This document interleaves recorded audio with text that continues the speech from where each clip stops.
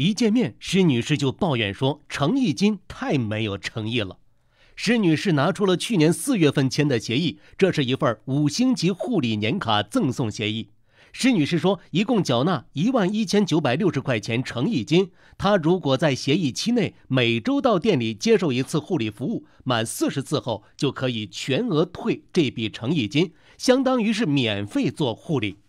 当时是他们极力推销我说这个就是一个免费的活动，一点风险都没有的。他说：“你这个是押金，我先帮你保存在我这里，到到时候等一年之后你做满四十次，然后就把这个钱还给你了。”施女士提供了当时店长的朋友圈和微信聊天记录，其中提到了赠送免费领。当然，协议中施女士作为乙方也是有义务的，比如要介绍一位朋友来店里消费，自己的肖像权要给店方使用一年。施女士说，她已经介绍了朋友来店里，同时也按照要求做满了四十次护理，但店方就是不退钱。就是说，我们没有按照五到七天这个呃护理间隔来来护理，说我们违约了。协议中有这样一条，建议护理时间间隔五到七天为宜，但并没有说一定要按照这个时间间隔来做护理。施女士说，店方就是用这个理由拒绝退款。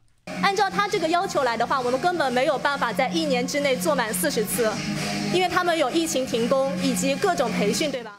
施女士说，签协议的时候，新诺理发店在萧山友谊路，现在已经搬到了光华路了。记者看到理发店的门头上写着“新诺美业新颜美容美发”，店里的一些价目表用的也是新诺的名字。记者与店里多位工作人员沟通，都表示联系不到负责人。负责人电话帮我打一个好不好？啊，负责人电话帮我打一下。没有电话，没有电话。施女士告诉记者，因为此前和店长多次沟通未果，就把这次消费经历以及此前在店里烫伤的事儿发到网上。结果店长说他造谣讹钱，然后直接把他拉黑了。现在他也无法和对方取得联系。随后，记者陪施女士来到萧山区市场监督管理局瓜沥分局，施女士以欺诈为由提交了举报信，工作人员当场受理，表示会介入调查。幺八黄建记者报道。